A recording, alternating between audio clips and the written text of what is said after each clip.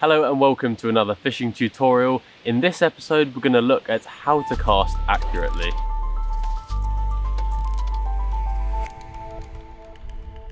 Having consistent accuracy in your fishing will 100% help you catch more fish. There was once a lake we used to fish with a small clay bowl that the carp had dug out next to an island. It was a very tricky cast, but we noticed every single time we managed to get a bait perfectly presented on that spot, we'd get a bite, without doubt. If we missed that spot and the rig was placed even a foot away, we would wake up the next morning without a bite. And that was when we realized how important accuracy is. Don't get me wrong though, on some occasions you can pretty much just cast anywhere and you can catch fish. But if you're able to accurately cast close to an overhanging tree or tight to an island or on a specific spot like that clay bowl that we used to fish on, you will definitely see better results. Let's start by looking at how to do a simple overarm cast. One hand is placed near the reel. I normally put three fingers in front of the reel and then the little finger behind the where the reel attaches to the rod. If you're left-handed like me, your left hand holds the rod. If you're right-handed, you do it the opposite way around, like most people. Like normal people, Alex. Yeah. and then with your other hand, you place it right on the butt of the rod. By holding it right at the end, you get maximum leverage so you can make a really big cast. When getting ready to cast, you need to keep everything in line in order to get a very straight, accurate cast. I will always keep the rod in line with my eyes and the spot that I'm aiming at. If everything stays in line, then your cast will always go in that straight line as well. The amount of line you have hanging down from your rod tip is important to ensure that you can cast easily and accurately. If you have too little line hanging down, it can be very awkward to cast, as well as if you have a massive amount of line, it can be impossible to swing it behind you and make a cast as well. I like to reel the line up so that it is half the length of the rod a good way to mark this is where the two rod sections join together. Uh, the butt eye is also a good place to reference that too. So once you're all lined up and you've got the correct amount of line hanging down from the rod tip, take the line under your forefinger against the rod, open the bail arm, swing the rod back slowly and then make the cast. The angle which I try to aim a cast at is 45 degrees. But in some situations this needs to be altered.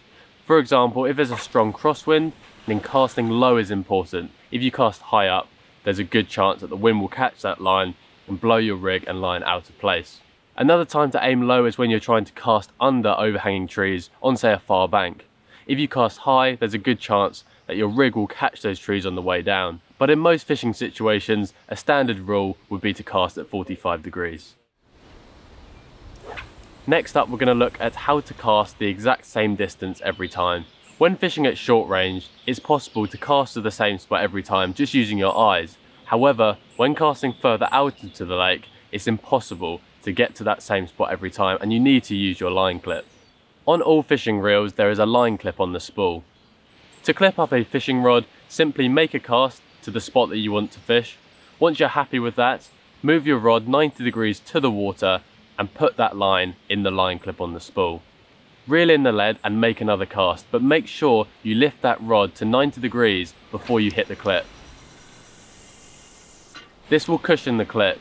If you hit the clip too hard, there's a chance that you'll break your line, or the rig will bounce back. Double check the distance is perfect, and depending on where that lead landed, if you'd like to go a tiny bit further, you can just pull a foot or two off the reel before clipping that up again. On the other hand, if you'd like to come a bit back towards you, you can reel a bit more onto the spool and then clip up. One important thing to remember when you're fishing on a clip is to always stand in the same place whenever you make a cast. Now with the use of some distance sticks, you can find out the exact distance of your cast and make a note in your phone and always get back to the same spot.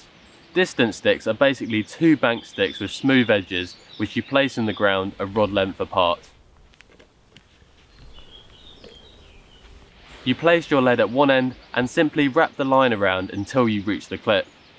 Count the number of wraps and make a note of this so you don't forget. Now you know how many wraps you're fishing, you can now clip up your other fishing rods to the same distance, or even a spomb rod, so you can bait up accurately too. Something we always do when making a cast is stop that lead before it hits the water. If we're using a line clip, hitting the clip will do this for us. If not, then it's always a good idea to put your finger on the spool or grab the spool just before your lead hits the surface. This avoids the lead hitting the water at great speed and making a big splash of disturbance. Stopping your lead before it hits the surface also straightens out your rig and stops tangles in flight. It also helps with feeling the lead down. Learning to feel the lead down is important not only for finding out how deep the water is in front of you, but you can also find out what is on the lake bed. Once you've hit the clip or stopped the rig with your hand, keep the line tight and let the weight of the lead pull the rod tip down until the lead touches down on the lake bed.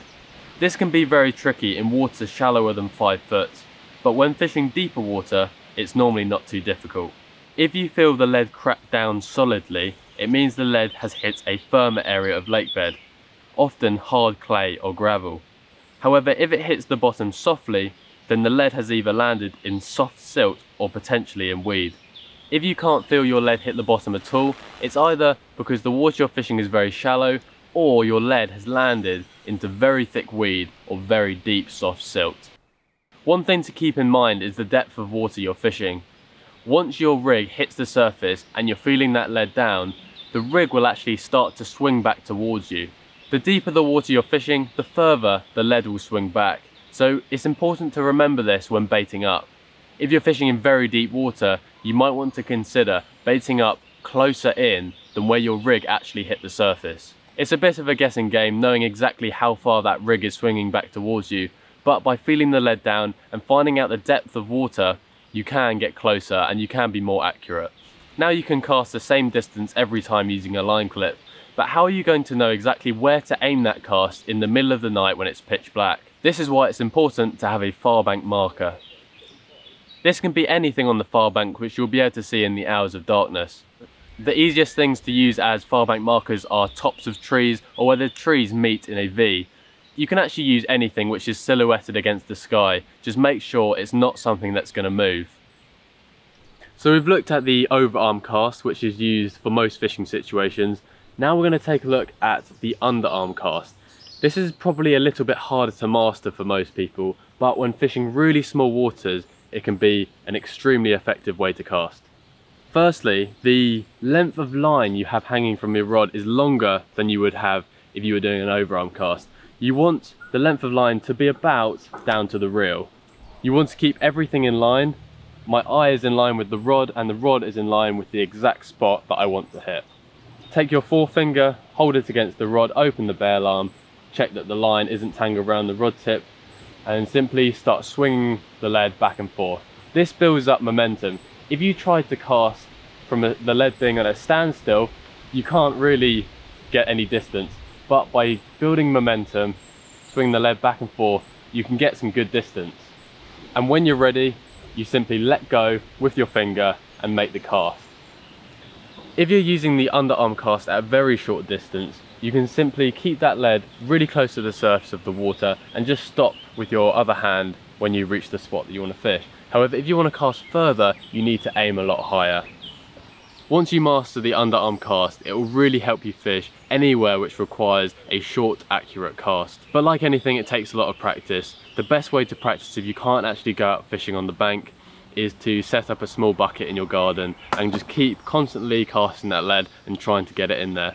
Anyway, good luck with your casting. Hope you've learned a thing or two about fishing accurately. If you want to learn more about fishing, then click one of these two videos here for plenty more useful tutorial videos.